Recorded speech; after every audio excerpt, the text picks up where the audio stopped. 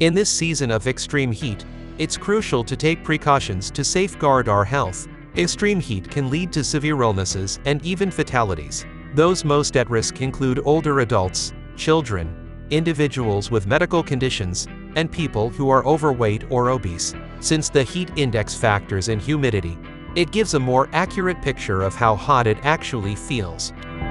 During extreme heat warnings, it's essential to seek air-conditioned spaces, avoid strenuous activities, and dress in lightweight clothing.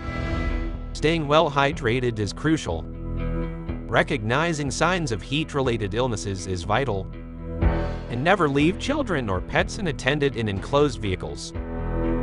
The National Weather Service has updated its heat index alert levels.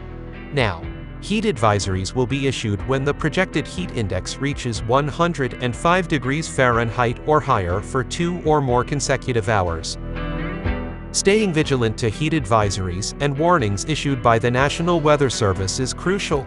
For additional information and resources, visit miami.gov